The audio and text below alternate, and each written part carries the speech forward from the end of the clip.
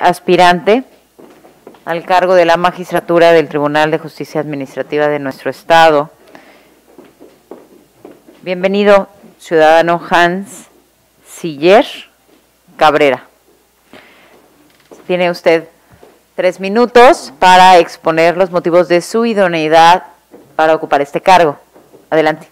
Buenas tardes, diputadas y diputados presentes.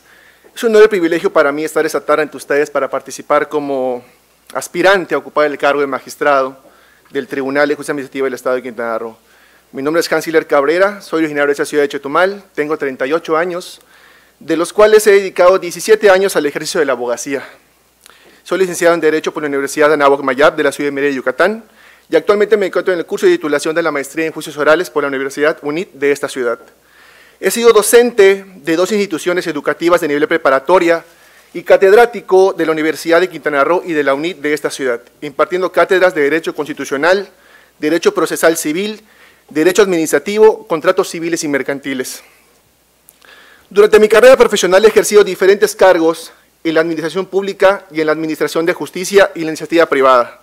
Laboré en la Comisión de Derechos Humanos del Estado de Yucatán como notificador investigador, Fui mediador conciliador en el Centro Judicial Alternativa y actuario del Juzgado Familiar, ambos del Poder Judicial del Estado. Cuento con cinco años de experiencia acumulada como abogado notarial, habiendo elaborado en el corporativo Cámara de Asociados Notaría 30 de la ciudad de Cancún y la Notaría 69 que tiene sede en esa ciudad de Chetumal. Laboré en la oficina del abogado general de la Universidad de Quintana Roo, así como fui jefe de departamento de seguimiento y solventación de auditorías del Sistema Quintanarroense de Comunicación Social, en donde actualmente ocupo el cargo de director jurídico. Desde el 2014 soy litigante en la materia de derecho civil y familiar, así como asesor inmobiliario y notarial. Estoy convencido que la función jurisdiccional como la ejecuta un magistrado del tribunal debe garantizar el acceso a la justicia a los particulares, al ciudadano, al gobernado, al servidor público y a las personas morales, todas cuando tienen relación con las instituciones públicas, estatales y municipales, siempre con base en la ley los valores éticos, cívicos, morales, democráticos y con un total respeto a los derechos humanos. Así como encauzar que el poder público se ejerza de manera transparente a través de la rendición de cuentas y que que realice su actividad administrativa de manera legal y con buenas prácticas para evitar lesionar los derechos de los particulares debe dirigir su encargo para luchar incansablemente en contra de la corrupción que corroe las instituciones y a nuestra sociedad. Me encuentro inmerso en la administración pública, la conozco, a diario convivo con ella a través del ejercicio de mis facultades. Colaboro con la Auditoría Superior de la Federación, la Secretaría de la Función Pública, la Contraloría del Estado, la Fiscalía Anticorrupción, llevo procedimientos ante el INE, ante el Instituto Federal de Telecomunicaciones y múltiples instituciones estatales y municipales. Represento legalmente al sistema quintanarroense de comunicación social en juicios laborales y procedimientos penales. Ejecuto, junto con la administración del sistema, los procedimientos de adquisiciones de bienes muebles y servicios. Brindo asesoría en solventación de auditorías, transparencia y buenas prácticas administrativas en temas financieros, y prevengo que mis compañeros servidores públicos realicen conductas que puedan ser susceptibles de responsabilidades administrativas. Por todo la anterior experiencia manifestada, me considero la persona idónea para ocupar la magistratura en el Tribunal de Justicia Administrativa del Estado de Quintana Roo, que hoy se concursa. Es cuanto. Muchas gracias.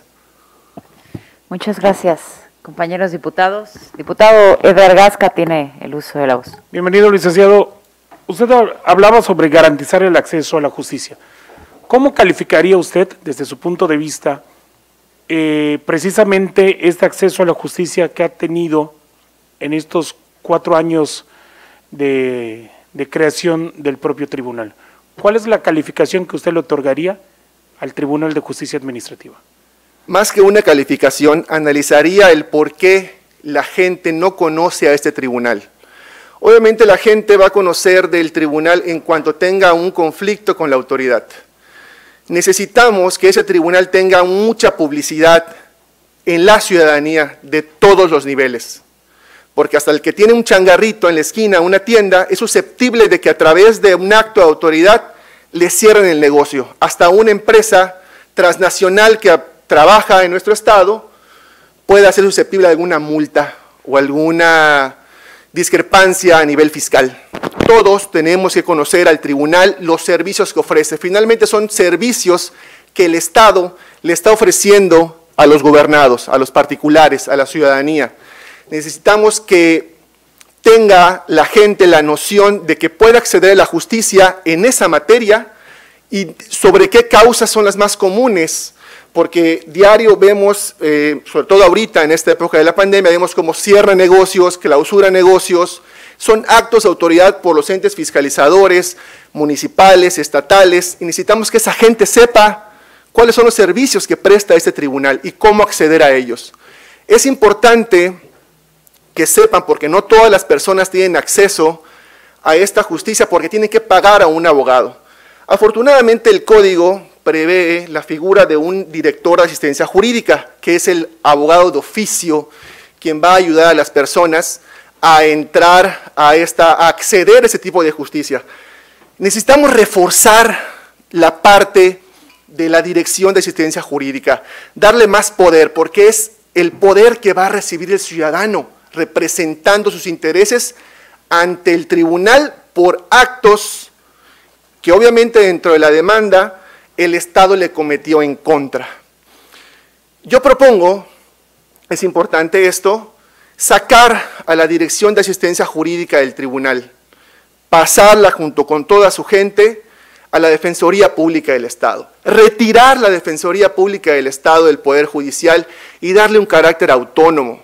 Ese carácter autónomo es para que la gente se sienta protegida, no esté bajo la influencia de algún poder, no tenga la llamada, la línea, la indicación, sino que autónomamente puedan defender al ciudadano, no solo en temas civiles, mercantiles, penales, o como ya lo hay con el Tribunal de Justicia Laboral, este, asuntos laborales, sino que conozcan y defiendan también a los ciudadanos en el ámbito administrativo.